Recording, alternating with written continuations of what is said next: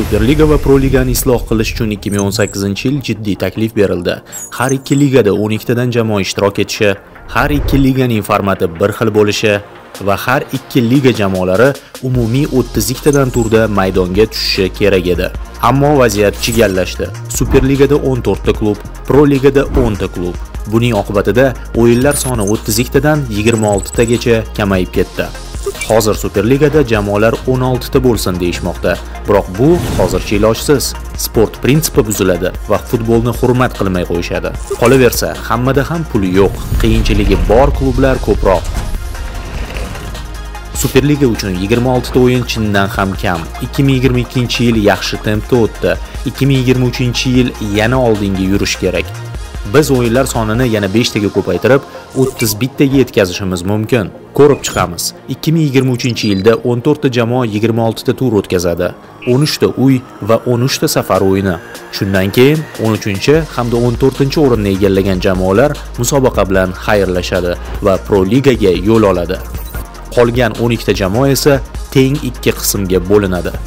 Birinchi oltilik chempionlik uchun kurashni davom ettiradi va har bir jamoa o'zaro yana bir martadan to'qnash keladi. Bunisiga ham Berger tizimida qur'a tashlanadi.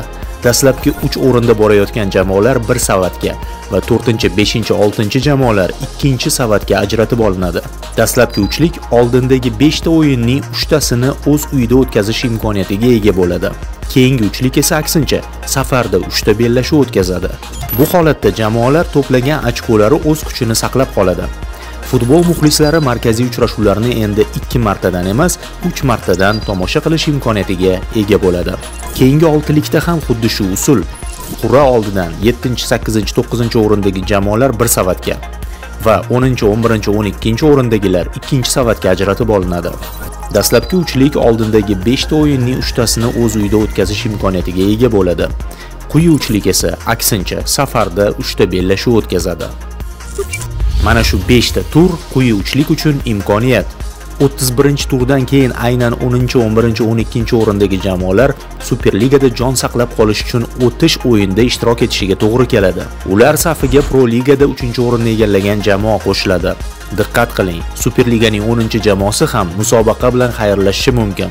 Tabiiyki, bu o'z navbatida o'tkinchi o'yinlar sonini keskin kamaytirib tashlaydi. Jamoalar har bir o'yinga alohida yondashishga majbur bo'ladi. O'tish o'yinda jamoalar quyidagicha saralanadi. Odatga ko'ra, Pro Ligada 3-o'rinni egallagan jamoa Superligadagi 11 yoki 12-o'rindan joy olgan jamoalardan birini o'z maydonida qabul qiladi. Shuningdek, Superligada 10 bo'lgan klub ham play-off uchrashuvini o'z maydonida o'tkazish imkoniyatini qo'lga kiritadi. Har ikki o'yin natijasiga ko'ra mag'lub jamoalarga Superligada jon saqlab qolish uchun so'nggi imkoniyat beriladi. Finalga teng bo'lgan bu o'yin neytral maydonda tashkil etiladi va mag'lub jamoa Superliga bilan xayrlashadi. Bu format orqali Superligadagi o'yinlar soni 182 tadan 212 taga yetadi. Play-off esa aksincha bitta emas, balki 3 ta o'yindan iborat bo'ladi. Ularning har biri muxlislar diqqat e'tiborida turadi. O'zbekiston Kubogining guruh bosqichidagi 3 ta bellashuvni ham qo'shib hisoblasak, jamoalar mavsum davomida minimum 34 ta, o'rta hisobda 37 ta va maksimum 39 tagacha rasmiy o'yinda maydonga tushadi.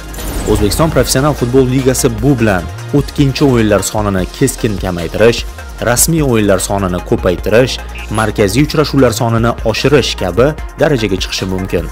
Ishonamizki, 2023-yilgi mavsum 2022-yilgisidan ham qiziqarliroq va tomoshabobroq bo'ladi.